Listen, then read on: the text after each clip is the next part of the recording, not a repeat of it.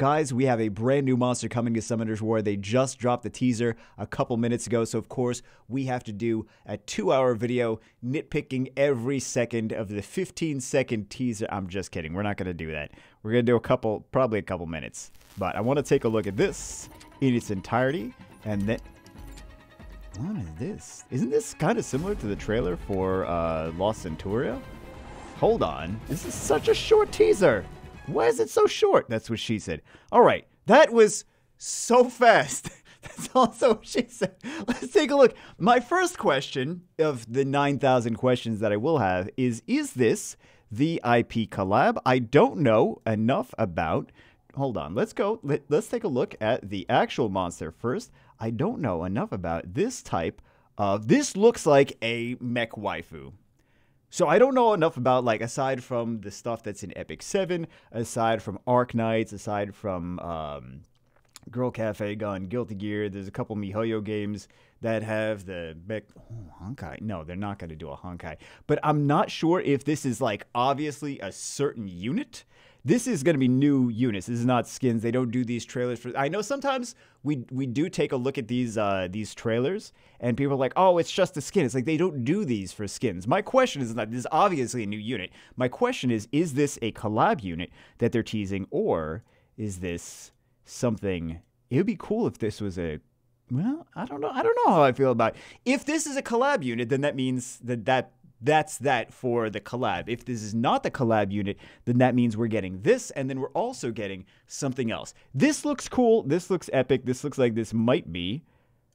I don't know. I have a feeling that this is going to actually be a pretty solid unit for whatever reason, and I'm basing that on absolutely nothing. Let's see if we can find any more Easter eggs here. They're static. They're static. They're static. Hold on, guys. There is a road cone, which tells us that this monster is angry at traffic laws, and that's why. I have no idea. There's nothing. I don't really. I'm trying to pull things out of my butt. I don't really see anything here that would give us any more information about it. But you wait, wait. This is from 2050.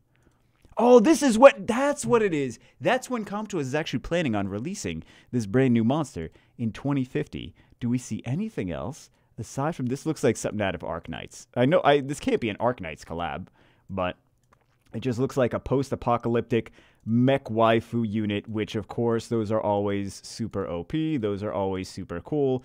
This is definitely something people are going to want to summon for. Luckily, you're all saving your stones and your stones. Luckily, you're all saving your. Oh, speaking of stones, there is a theory, a game theory. Um, but luckily, you guys are all saving your scrolls, or many of you are saving your scrolls for uh, collab units. This might be something that makes you pop them.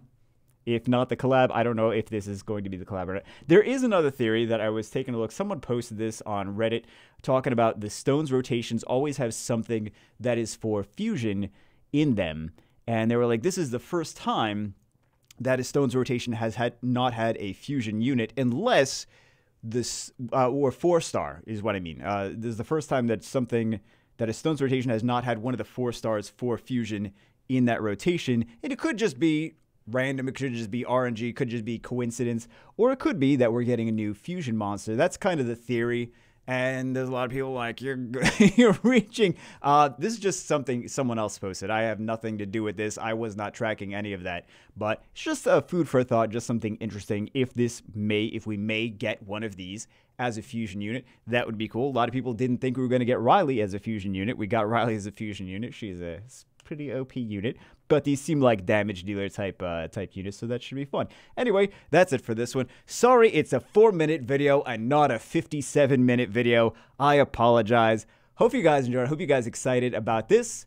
And we'll probably do like 9,000 videos soon. Hope you guys enjoy. I will see you as always in the next one.